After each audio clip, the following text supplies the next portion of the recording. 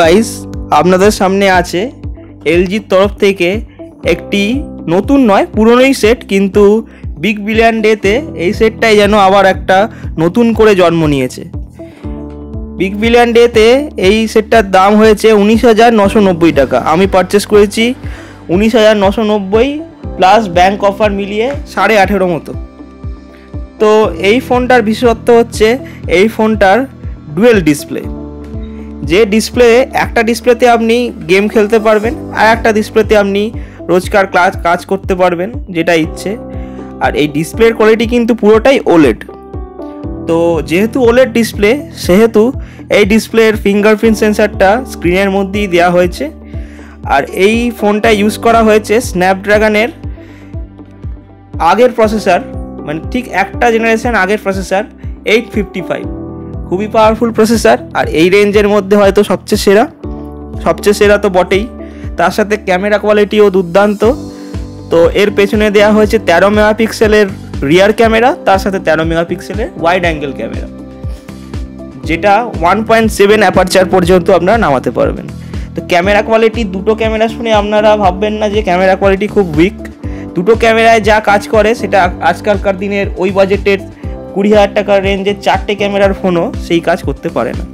মানে এত ভালো কোয়ালিটি তার সাথে দেওয়া হয়েছে একটি গ্লাস ফিনিশওয়ালা ফোন যার সামনে ও পেছনে গরিলা গ্লাস ফাইভ আছে।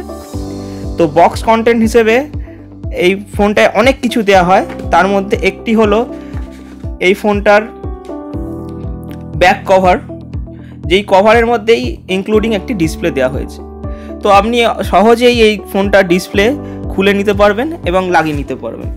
ডিসপ্লে খোলা অবস্থাতে এটার ওয়েট থাকে একশো বাহাত্তর গ্রাম পর্যন্ত। আর ডিসপ্লে লাগিয়ে দিলে মানে ডুয়েল ডিসপ্লে যদি আপনি ইউজ করেন, তাহলে সাড়ে তিনশো গ্রাম অবধি ওয়েট পৌঁছে যায়। তার সাথে একটি টিপিউ কেস দেওয়া হয়েছে, যেটি মোটামুটি খুবই ভালো মেটেরিয়াল তো বলা চলে। তার সাথে দেওয়া হয়েছে স্ক্রিন মোছার জন্য একটি ক্লথ আর দেওয়া হয়েছে হেডফোন যেটি আপনি অনেক ফোনেই পাবেন না হেডফোন এবং হেডফোন কোয়ালিটি তুলনামূলক অনেকটাই ভালো।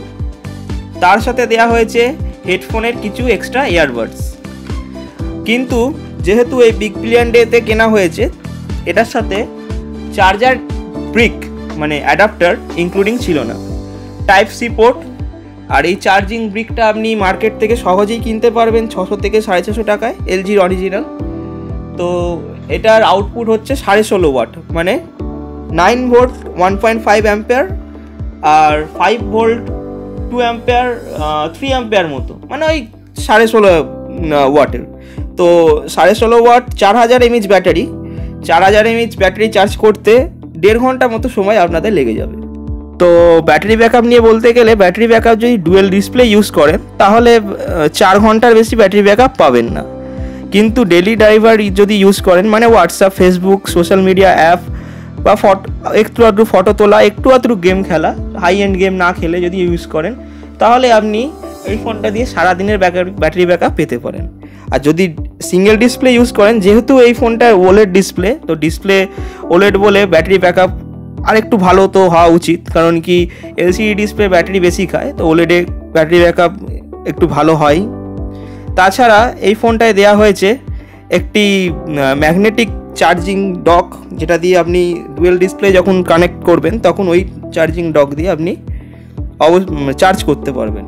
এছাড়া three point five M M jack যেটা আজকালকার অনেক মোবাইলই দেওয়া হয় না, তো এই মোবাইলটা three point five M M জ্যাকও দেওয়া হয়েছে।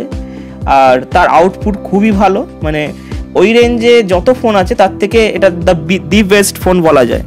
আর বলতে গেলে ফিঙ্গারপ্রিন্ট সেন্সার ফিঙ্গারপ্রিন্ট সেন্সারটাও খুবই ভালো কোয়ালিটির মোটামুটি রেসপন্স রেসপন্স ভালোই করে। আপনি যতবার দেবেন, তার মধ্যে নাইনটি পারসেন্ট বার আপনার ফিঙ্গার দিয়ে এটা খুলে যাবে। কিন্তু এই ফোনটাতে ফেস আনলক দেওয়া হয়নি। ফেস আনলক না দেওয়ার কারণ হচ্ছে ডুয়েল ডিসপ্লে এই ডুয়েল ডিসপ্লে যখন ইউজ করবেন, তখন যেহেতু ডুয়েল ডিসপ্লে, ওই জন্য ফেস আনলক ফিচার্সটা এখানে দেওয়া হয়নি। এছাড়া সামনের একটি ছোট্ট স্ক্রিন পাবেন, যেখানে আপনি টাইম দেখতে পারবেন টেম্পারেচার দেখতে পারবেন চার্জিং দেখতে পারবেন, আর নোটিফিকেশান দেখতে পারবেন। ডেট তো দেখতে পারবেনই তার সাথে। তো এই ফোনটার ভালো পয়েন্টগুলো যেগুলো, সেইগুলো হচ্ছে এর ডিসপ্লে এর ব্যাটারি ব্যাকআপ এর সাউন্ড কোয়ালিটি এছাড়া এই ডুয়েল ডিসপ্লের যে ফিচার সেইটা। এছাড়া ক্যামেরা কোয়ালিটিও দুর্দান্ত। যে আমি আগেও বলেছি যে এই রেঞ্জে যত ফোন আছে, তার থেকে এই ফোনটার ক্যামেরা কোয়ালিটি অনেক ভালো। এবং হয়তো তিরিশ হাজার টাকা রেঞ্জের যে কোনো ফোনের সাথেও এই আসানি সে কম্পেয়ার কম্পিটিশানে জিতে যাবে। এছাড়া জিতে তো যাবেই, তার সাথে অনেক বেশি মার্জিনে জিতবে। মানে তিরিশ হাজার টাকার যে কোনো ফোনের থেকে ক্যামেরা কোয়ালিটি ভালো হতে পারে না। মানে এত ভালো ক্যামেরা কোয়ালিটি এর কারণ হচ্ছে এই ক্যামেরার ওআইএস দেওয়া হয়েছে। আর অ্যাপারচার তো ওয়ান পয়েন্ট সেভেন অব্দি নামে আমি আগেও বলে দিয়েছি। তাছাড়া গুড পয়েন্টের মধ্যে হচ্ছে গেমিং পারফরমেন্স খুব ভালো। এছাড়া স্ক্রিনের কোয়ালিটি খুব ভালো। যদি আপনি বেশি মিডিয়া কনজাপশন করেন, তো তার জন্য আপনার এই ফোনটা অবশ্যই কেনা উচিত। তবে এই ফোনটা পেতে আমি শুনেছি অনেকেরই একটু ঝামেলা পোয়াতে হয়েছে। তো আমি মোটামুটি ঝামেলা পোয়াতে হয়নি। আমি একবারে প্রথম সেলেই আমি এটা পেয়ে গেছি। তো এটা নেগেটিভ পয়েন্ট কিছু বলতে গেলে কনস সেই কনসগুলো হচ্ছে এখনও পর্যন্ত আমি যা দেখেছি সেটা হচ্ছে, এটার যখন আপনি ফোন করবেন, তো ফোনে আপনি ডায়ালার অপশানে গেলে আপনাকে কোন সিম দিয়ে আপনি ফোন করতে চান, যদি আপনার ডুয়েল সিম হয়, তো ওখানে অপশানটা দেখিয়ে দেয়। কিন্তু এই ফোনটার ক্ষেত্রে সেই অপশানটা দেখাচ্ছে না। এছাড়া আমি ফোন করার সময় কিছু নেটওয়ার্ক ইস্যু দেখতে পেয়েছি। নেটওয়ার্ক ইস্যু বলতে আমার বাড়িতে সবসময় জিও বা এয়ারটেলের পাঁচটা টাওয়ার থাকে। কিন্তু এই ফোনটার ক্ষেত্রে তিনটে বা দুটো টাওয়ার থাকছে।